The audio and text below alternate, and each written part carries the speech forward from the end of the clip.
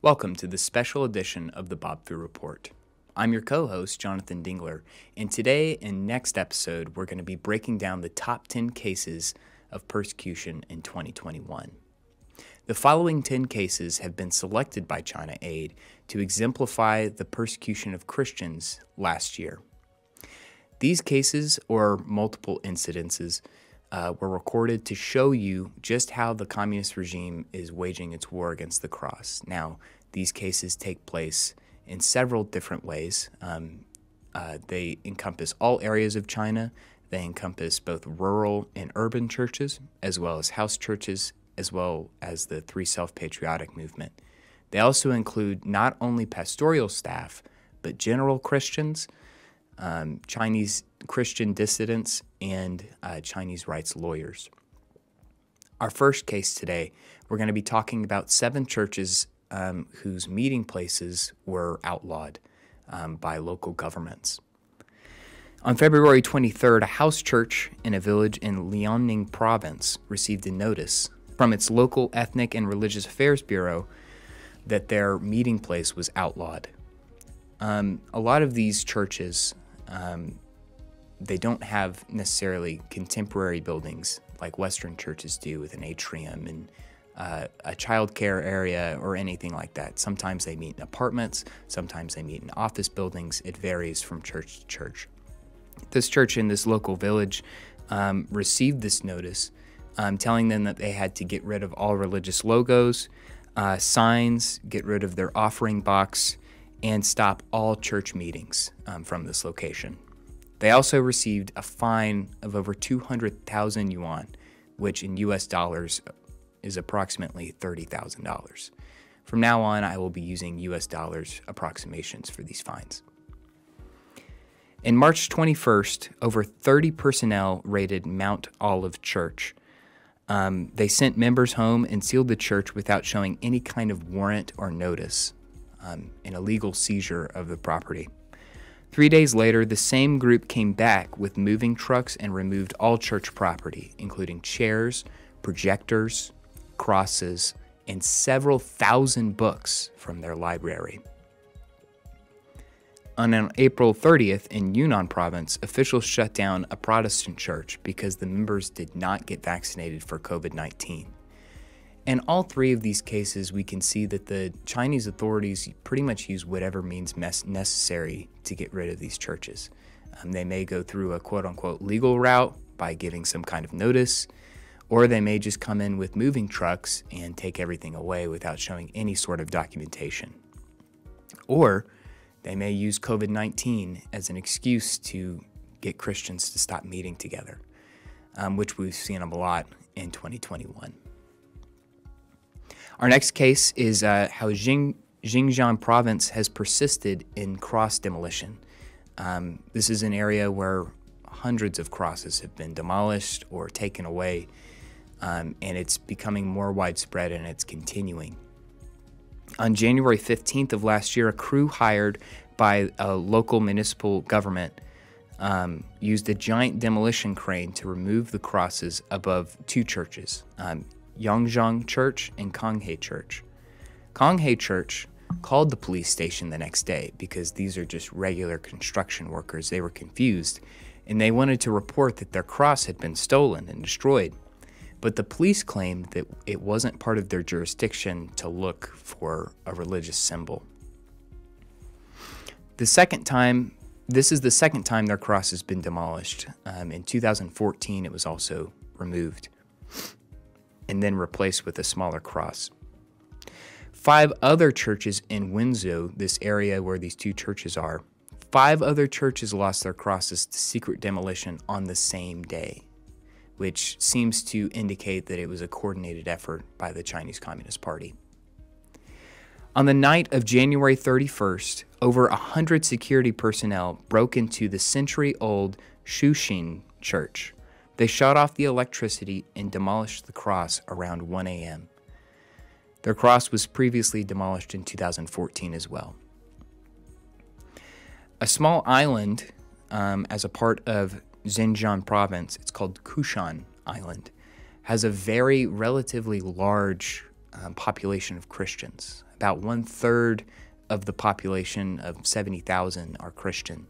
And they have a tradition uh, for their fishing boats to have uh, crosses erected um, and to have uh, Emmanuel spray painted on the sides of the boats.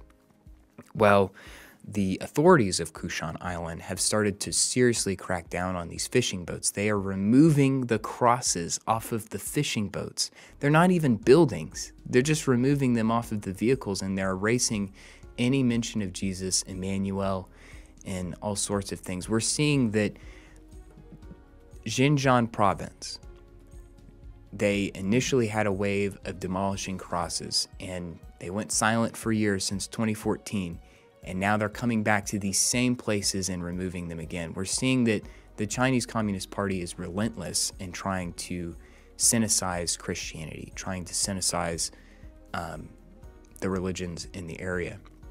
And it shows that they're not going to stop. Um, if they come back six years later after demolishing uh, a cross just to, to demolish its replacement, um, they're going to keep doing this for years to come. Now we're going to turn it over to Bob Fu, who's going to break down our next case. Thank you, Jonathan, for reporting the first two persecution case in 2021 in China. The third case I want to talk about is um, the resurgence of the uh, Linfen religious persecution case in Shanxi province. And that is the church known as the Golden Lampstand Church. Um, the, their leaders uh, were arrested again and facing a very serious criminal charges. In August of 2021, Golden Lampstand's church nine leaders were all taken into custody by this national security of uh, the Linfen city. And um, these pastors include pastor, uh, the senior pastor Wang Xiaoguang, and another uh, main leader, uh, Miss Yang Rongli. Uh, so Pastor Wang already served uh, three years uh, back to 2009 when he was arrested um, at the first wave of persecution. And uh, Pastor Yang Rongli, uh, she was sentenced to seven years and served seven years, actually just released not long ago. Um, and the, uh, those uh, nine brothers and sisters from the Golden Lampstand Church, they were all approved uh, for formal arrest according to the Chinese uh, criminal law code on September 27th, 2021 under a totally fabricated charge uh, called fraud uh, because they are running uh, an unregistered church, a very large church. So here's the uh, kind of uh, some background uh, for you that if you some of you may um, recalled that the Golden Lampstand Church is in fact an unregistered house church group. Um, they are predominantly um, the members are centered at uh, uh, the city of Linfen, um, not far away from the capital city of Shanxi province, uh, Taiyuan. So um, at that time, uh, in uh, near uh, in 2009, um, the church already had a solid um, 50,000 members. I mean, 50,000 diehard believers uh, in the church, and uh, so I mean, it's not like a typical Chinese house church. Uh, in their own homes, obviously, 50,000 members is too big and uh, the word in uh, spread it in uh, uh some um, lo different locations. But the church uh, believers um, feels compelled um, to gather together as one uh, church. So they um, voluntarily um, made offering and, and, and, contribution about 17 million yuan, which is about uh, two and a half million US dollars, and uh, and complete a building um, in a uh, gospel. They call it a gospel shoe factory, um, which is owned by one of the church members. Uh, it is also a factory uh, producing shoes. I mean, because uh, you can tell from the name, it's called Gospel Show. Uh, 福音鞋厂 means the gospel means uh, it's a Christian owned uh, with the deliberate purpose of that uh, factory uh, for the glory of God. So then um, on the uh, on September 13th, 2009, uh, 400 Chinese military police raided the um, church meeting size uh, at the Golden Lampstand Church. Uh, we actually had photos showing uh, that uh, the completion of the church a, it was beautiful uh, church building, and in fact, uh, the the church members had digged in. on the underground of the church, that they can, I mean, can hold a big gathering, really on the basement of the church. Um, and uh, uh, during this uh, violent attack um, on that day, more than 100 brothers and sisters were physically injured and um, damaged and uh, government organized uh, uh, multiple bulldozers and excavators basically at that time destroyed some of the um, smaller buildings um, surrounding the main sanctuary, and um, the uh, and then um, from September 23rd of 20, uh, uh, 2009, uh, the government basically sent uh, armed police uh, with like um, anti-riot tanks.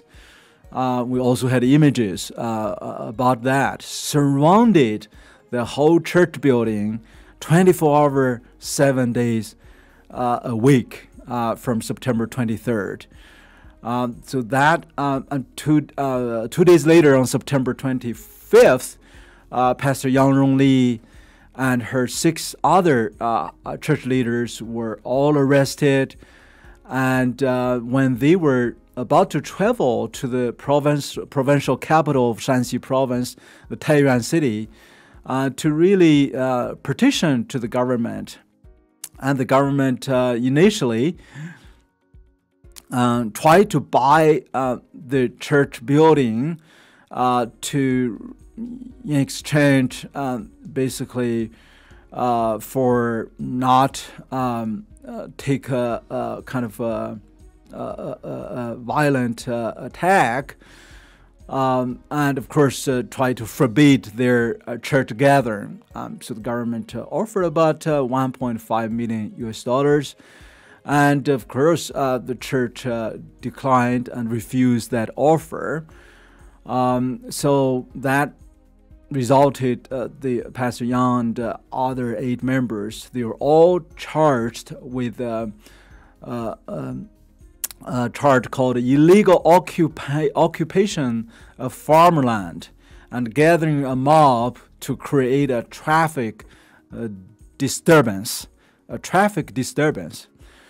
So uh, Yang uh, Li received seven years and a fine of uh, 30,000 yuan, which is about uh, uh 4,700 US dollars. And her husband also received three years and a fine of 10,000 yuan, about fifteen hundred um, uh, dollars. And uh, Pastor uh, Wang Xiaoguang and uh, others, and uh, actually her and his family members, several, were also sentenced from three, four, some two years imprisonment. So um, the um, the the the Linfen Lamb, Golden Lampstand Church, as I said, you know, 50,000 members. Um, sometimes in their annual gathering, they did gather on the farm field. And uh, I heard a lot of stories. Basically, just to feed 50,000 people on the farm field, and that is a, a gigantic task. But they were so uh, brave and uh, really uh, basically that was the gospel meaning many people were attracted to be there non-believers and then a lot of them uh, had uh, come to christ. And even some government uh, kind of officials were there. Um, so but after the 2009 um, forcefully read um, over 13 over 30 30 meeting uh, sites were uh, totally shut down. Um, and uh, I guess that then the church had really go underground from that time on. And um, but from two uh, from 2009, I mean uh, to 2018, so nine years, the government uh, had to have 24/7 um, uh, civilians and surrounded by military uh, police vehicles and police. Uh, I mean, what kind of uh, taxpayers' money they're spending? Just try to prevent any church member from entering into their own church building.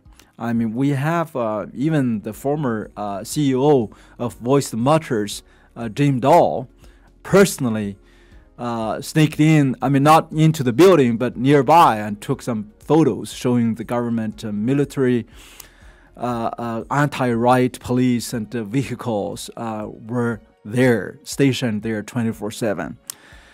Um, but on January 9th, in 2018, um, the Chinese government decided to demolish the whole Golden Lampstand Church um, the, the, the main sanctuary. And they uh, demolished that church with dynamite.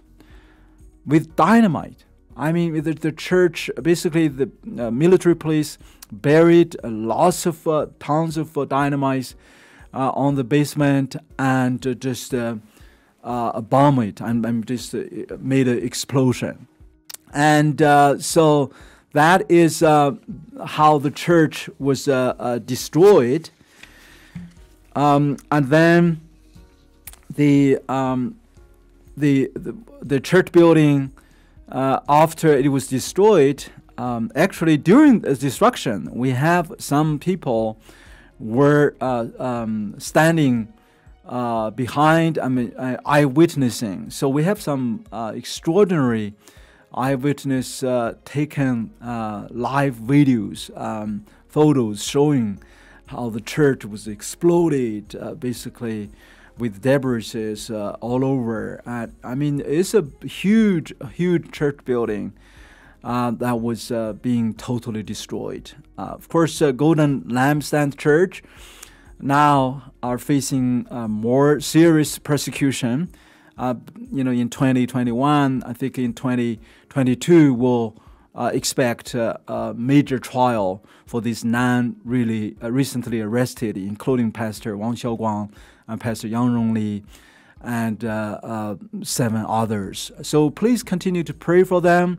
In 2022, uh, pray for strength. I mean, the Chinese Communist Party usually very mercilessly uh, prosecute and uh, uh, double usually the sentence for those who are called committing repeated offense. Um, so this is going to be a huge, huge uh, persecution case. We'll keep you informed later on as uh, the uh, development um, comes up. So thank you. Um, we God continue to bless His church. Um, I mean, this is uh, certainly not a only church being destroyed in 2021, uh, and um, thousands of them. Um, but uh, since uh, it happened already in 2009 and then 2018, and now again. Thank you, Bob, for that report. Our next case uh, in our top 10 cases of persecution in China are the uh, collection of church run schools that have been under attack last year. Um, the first of which was the Jordan River Learning Center, which is actually um, a school from Mount Carmel Church in Wuhu. Uh, on May 27th, uh, authorities came into the church um, and confiscated teachers' cell phones, computers, and books. Um, they sealed the school, blocking access to equipment and student possessions.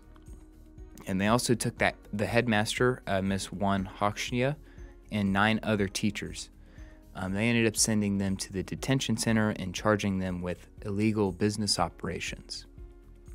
Now, all nine of these teachers and the headmaster, um, they all have, they're all financially vulnerable. Um, they work for the school, uh, they're not able to pay their fines, and they all have children.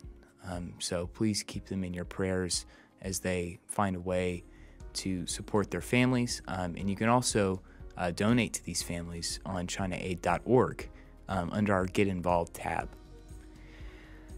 The next school um, that was raided was in September of 2021. It was uh, Christian Music High School in Harbin, which is the uh, capital of the Heilongjiang province.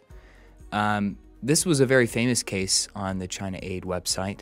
30 officials came in, including SWAT members, um, and arrested teachers and students, um, doing similar to what they do with these other Christian schools. They seize property, books, um, you know, curriculum, that sort of thing, holding uh, parents in jail or in detention centers. But they also took the principal, uh, Principal Shu, who um, he's still being, uh, you know, charged officially. Um, but you can look for more updates on Principal Shu on the China Aid website as well. The next school was a Golden Reed Learning Center, um, which is actually a church run school by Golden Lampstand, which Bob just spoke about. Um, as he says, this is a church that's been persecuted for many years, um, and this school is an offshoot of that ministry. Um, and so it's no real surprise that the CCP would directly target um, the school.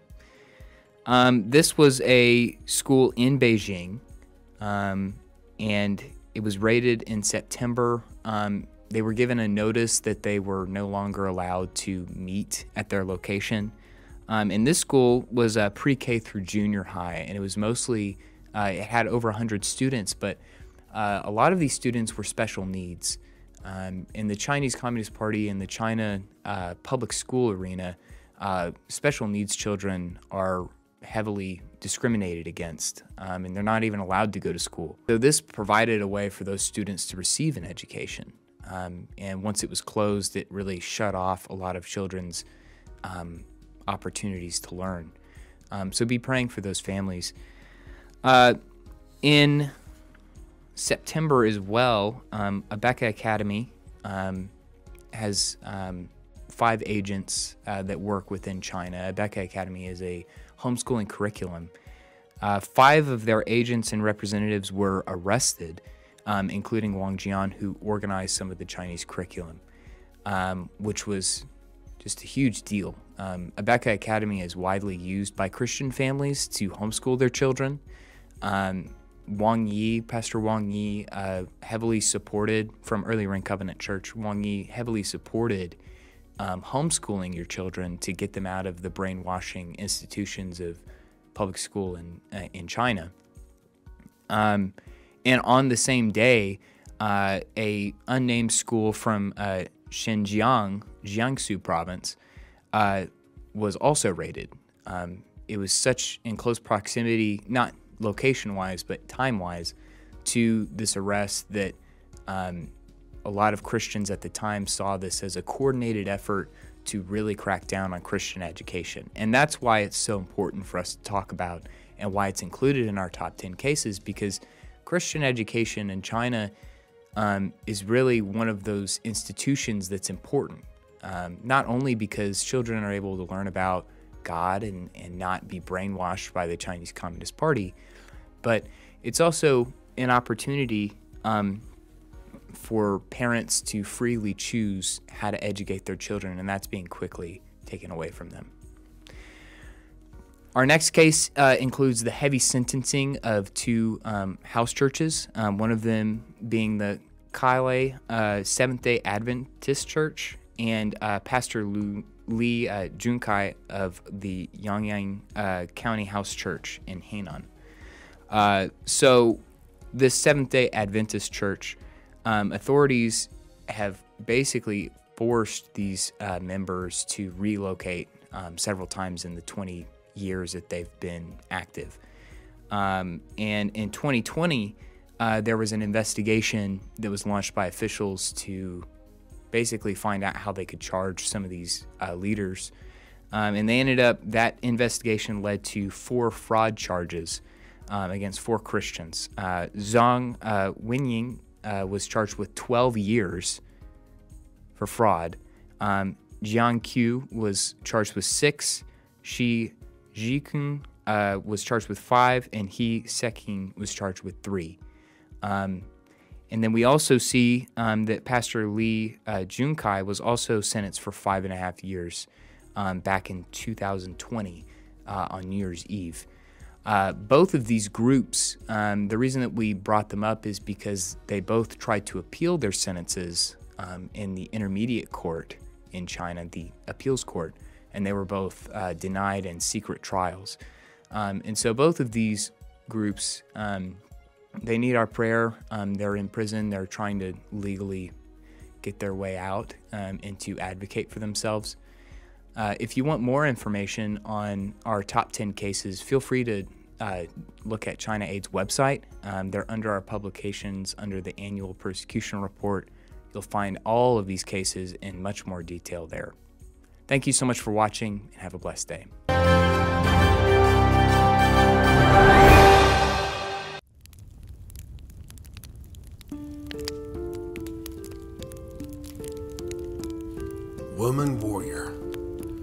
Were the target of that ancient serpent. You are the last and most beautiful of all creation, and that is why he hates you. It was through you that redemption was made possible. That day when the Creator entered into his own creation, the sinless seed, through the nurturing vessel, to birth the Redeemer. How confusing it must be to be led by leaders who despise you, use you, degrade you, and desire to kill you.